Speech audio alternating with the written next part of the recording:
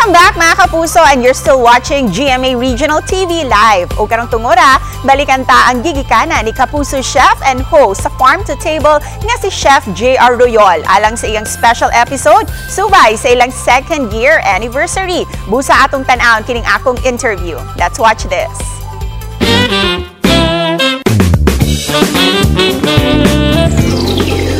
Gumikan si impluensya sa kultura sa gawas sa nasud, halos makalimtan na nato ang atong identity isip mga Pinoy sama sa pagkaon. Hinungdan nga adunay pipila ka mga chef nga sama ni J.R. Royal nga ipatigbabaw ang kamahinungdanon sa mga pagkaong Pinoy, labi na ang mga pagkaon nga makapaayo sa atong panglawas. Ang iyang programa nga Farm to Table mao'y usa sa mga programa nga magtudlo kanato ni ini.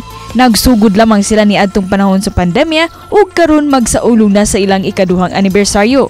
Busa karong buntaga ato siyang inabiyon dinilang sa GMA Regional TV Live. Karong buntaga atong makauban ng usa sa mga banggiitang chef dinhi sa Pilipinas ug kinsa host usab sa nagpabiling paboritong programa sa kadaghanan ang Farm to Table. Busa all welcome Chef J.R. Royol.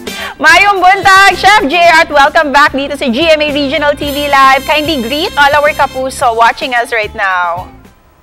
Alright, sa lahat ng food explorers natin dyan sa Central and Eastern Visayas, maayong buntag sa inyong lahat. Congratulations sa inyo, Chef JR, for the success of Farm to Table. And gaya ng sinabi mo, Yes. second anniversary na ng Farm to Table. And we heard na may aabangan kaming four-part series. Can you share this to us? Yes, very exciting po yung ating food adventure. Of course, second year anniversary, we have to celebrate it with a very, siguro, celebratory spirit. Uh, we will be doing a hometown episodes starting Feb 19 po yan, this Sunday, uh, 7 p.m. sa GTV. I will be bringing the entire Farm to Table team sa hometown ng aming ina.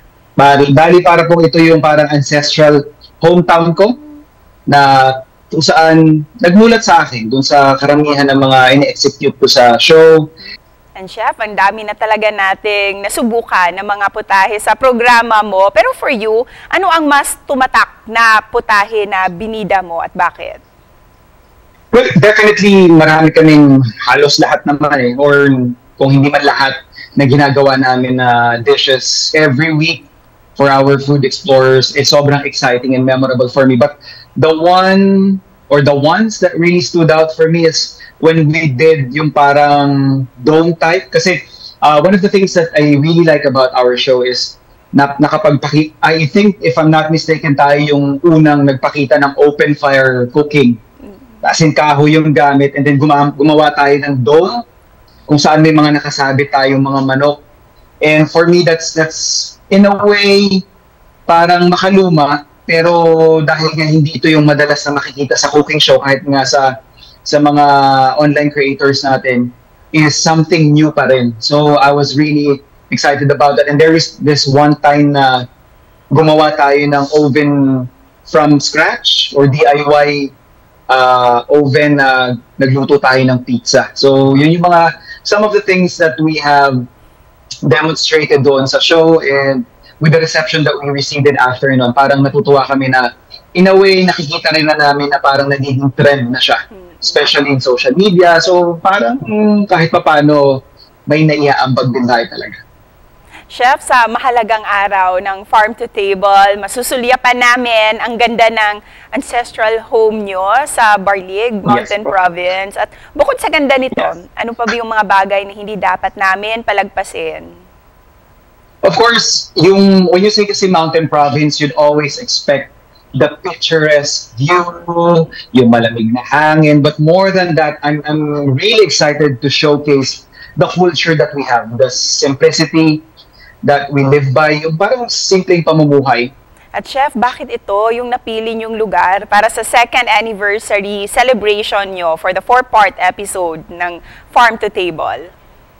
Because normally kasi ma'am, di ba, when you talk about mountain province, well, aside na ito nga yung hometown ng aking ina, and this is pretty much have been my home as well, uh, when you talk about kasi mountain province, people would always say Sagada, or kung doon sa area na yun, Banawe, di ba? So, parang I, I felt na kayang sumabay ng ganda ng Barling.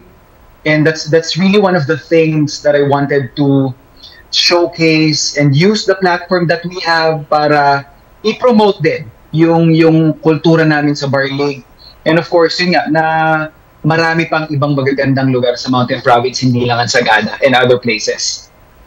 At Chef, ano yung mga tradisyon sa pagluluto na gusto mong ibahagi sa ating mga kapuso viewers bilang may dugo kang igorot? Yes, dapat kasi I think this is one of the things that I that we need to practice more. Uh, meron po kasi kami tinatawag na itag. Itag is is a cured preserved meat uh, wherein yung pork eh, inasinan lang namin. Well, dahil na rin siguro sa kultura, uh, sa klima na meron kami sa Mountain Province, mas na-preserve yung meat. But basically, the salt kasi that you apply to the meat prolongs or parang na-extend mo siya, hindi siya nasisira kaagad. So yeah, it, it gets cured. Sabi ko nga lagi, para lang mas maintindihan pa natin, parang ito po kasi yung parang uh, version natin ng bacon. Kaya naman, imbitahan mo na ang mga kapuso viewers natin na abangan ang inyong second anniversary ng Farm to Table. Yes, and of course, I am honored and, and privileged to to be spending it with with the entire nation basically. And salamat din Ma'am Cecil and to the team. And so yeah sa buong GMA Regional TV Live for allowing us to extend this invitation sa lahat ng food explorers natin dyan sa Central and Eastern Visayas na talaga namang sumusubaybay sa ating programa tuwing linggo sa GTV alas 7 ng gabi. Kasi po starting Feb 19 of course every Sunday special po yung pinapakita namin we're just making it extra special this time for our second year anniversary as I bring the whole farm to table team and get to experience the farm to table culture na meron kami sa Barlig Mountain Province. So please do share with us yung yung excitement and yung adventure na naranasan namin while taping these episodes. So we will be expecting everybody na samahan kami and why not uh, na din, mag-invite na rin po kayo with your families, relatives, para maganda rin po kasi siyang family event. So, join us as we celebrate our second year anniversary. And Chef, before we end this interview, may gusto ka bang pasalamatan sa tagumpay na nakamit ng Farm to Table? And of course, please invite everyone to continue supporting. Of course. Uh, uh, I would like to thank, of course, my, my family. Uh, without their support, talaga namang hindi natin malalampasan yung, alam yun, the challenges that we experience yung every taping. And of course, kudos to the team from our program managers to the technical side and all involved in this project. Kahit yung mga big bosses natin sa GMA who've been more than supportive sa pagpo-promote, pag-encourage, at talagang mapag-appreciate sa format ng ating programa. And more than that, hindi kami nandito, hindi natin may tatawid yung pangalawang taon natin without the viewers. Kasi without you guys, yung project natin Farm to Table as a show ay hindi po magiging successful. So, in behalf of the GMA team, family, and the company itself, we'd like to thank you guys.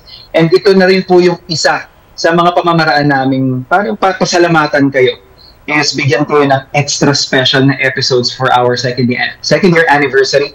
Again, starting Feb 19, that's 7 p.m. Sundays po tayo sa GTV lang yan. Dagang salamat, Chef JR, at congratulations sa buong team ng Farm to Table. Maraming maraming salamat, Ma'am Cecily. Dagang salamat din po sa lahat ng ating taga-subaybay.